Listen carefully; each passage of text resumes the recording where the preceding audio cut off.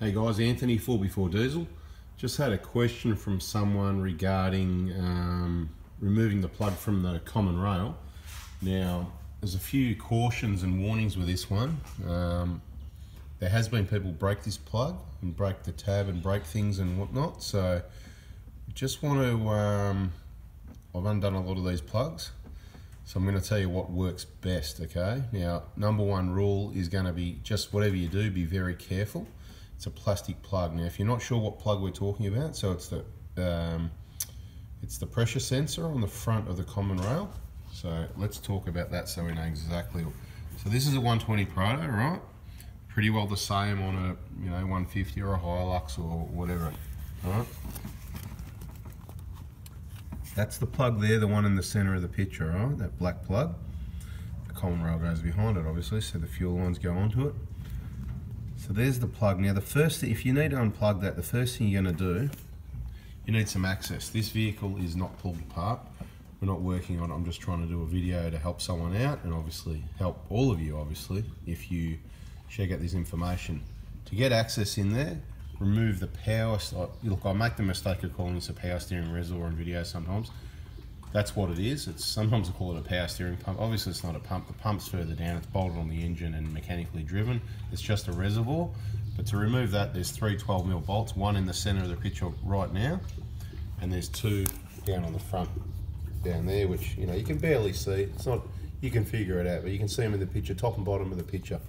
All right. So here's a 3.8 drive and a 12 mil deep socket with your shortest extensions, usually a good length for those ones on the front. So if you get that out of the way, that'll open it up for access a lot more in the first place. Um, the reason, the only reason you need to undo that common rail plug generally is if you're, you want to get the nuts and bolts off the EGR cooler, probably because that's where you want to put a plate in or something like that. So that's the most likely reasons.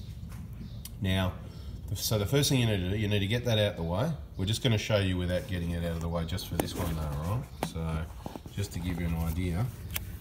So let's get down there again. There it is. Let's have a look around, right? There's the plug, center of the picture. First thing you need to do is identify where the little release tab is, right? Now, I'm not going to be, I'll try and show you, but I'm probably not going to be able to. I'll try. So what I'm going to do is reach in there get my finger and feel the plug and go, okay, where's that release tab? And it's not on this thick section here. Look at that, that's working quite well actually, isn't it? It's on this thick section here, it's back, right? So it's behind it, so edge of the plug there, thick section of the plug for about, what's that, 12, 14 mil, right? It's behind that, right? So in this case, it's at the top. I can feel it up there. I'm not going to press it because then it may be released, right? So this is a 120 Prado. Quite often they're all in the same position. So you need to press that. So if you've got this reservoir out the way, you'll be able to get your hand around. I'm going to get in the way now. Underneath, press the button and just wiggle and pull the plug. Now what happens with these plugs is they can be tight. It's not usually the release clip that's tight. It's normally the plug, just mud, dust, dirt and whatever gets under the plugs. Same on all the plugs. There's, there's a couple of dozen plugs on each side of the engine and just from over the years all the mud dust and dirt and all that sort of thing it gets underneath the plug between the plug and the, the switch or the sensor depending what plug we're talking about and it's just really tight okay? So you need to make sure you've got that clip released without pushing it too hard because you could possibly break them I've never broke one or had an issue but I'm just warning you because there are people that have had issues. Um, and we've got someone at the moment last I spoke to him he was having trouble getting it undone. So this is for him um, and if he's got it undone, even better. Well, this is there for everyone to watch in advance. Um, obviously, more information when you buy the injector kit in the VIP group, but we try and put quite a lot of free information in the YouTube channel to help out everybody.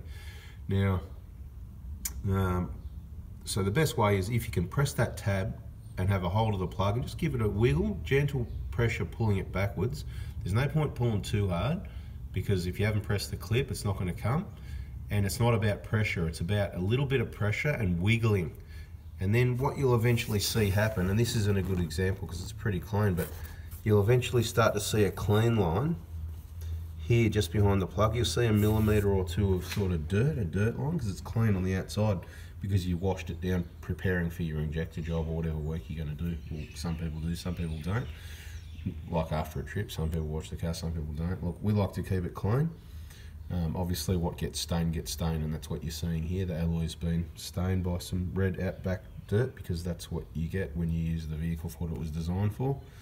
Um, if pulling the plug with a clip released isn't working, there is something else that I've done, and you need to be very careful. Okay, so I'm going to tell you, don't do this. Don't get the big nasty screwdriver out. I'm going to I'm going to show you the screwdriver. So come up here the big nasty screwdriver. Don't just get in there with that and lever the hell out of it because that won't be good. You'll probably just bust something, right? So you need to be very careful. So I'm suggesting possibly this screwdriver works. It works for me. But what I do, with that power steering reservoir out of the way, I'm able to get in with my left hand, press that little tag down there, right? And then with this screwdriver, I can get in down here and I'm talking, you can't go in too far, otherwise you'll be levering the sensor, right? It needs to be just on the edge of the plug, and you've got the steel here of this pipe bracket on the fuel line above it. If you haven't taken the manifold off, whatever, it's still there. And you just gently lever, it just, and I'm not talking pressure, right? I'm not talking put a heap of pressure on it. It just allows you to concentrate on using one hand to release the tab and the other hand to push the plug back. Now you can't just put pressure because you'll bust it. It'll cock up, you know, you're only doing one side. It's got to be done evenly. So, but when you've got ones that are really tight, sometimes you just can't get them started. So you just need that bit, it's a levering effect. So little, so what I do on and off the screwdriver, just gently, gentle, gentle, gentle, on and off, you know, probably five times or so. And then I'll start to see that dirty line underneath of the part, you know, you couldn't clean it obviously because the dirt's underneath the plug. And once I see a millimetre or two of dirt, then I release the clip, put the screwdriver away, and then come down with the right hand and just grab the plug and then continue to wiggle and pull. Which I can't show you, obviously. There's not enough room to show you, but you know what I mean. But And then obviously it'll slip off and you'll go, wow, awesome. And then just tuck it down, obviously. Tuck it down below so it's out of the way and do what you got to do. So, look, that's how I get the plugs off. Um, it's a nice day when they just come off easy. And I suppose the more you've done, I, I don't, I really don't have any issues getting them off, but we have had a few tight ones. So just letting you know that's what works for us. But whatever you do, be careful. Like usual, if you haven't already, hit subscribe, turn notifications on so you don't miss the next important information and um, share it with your friends. If you've got other people you know working on these engines, whatever, show them the video because possibly it might help. Alright guys, thanks for watching, appreciate your support. See ya.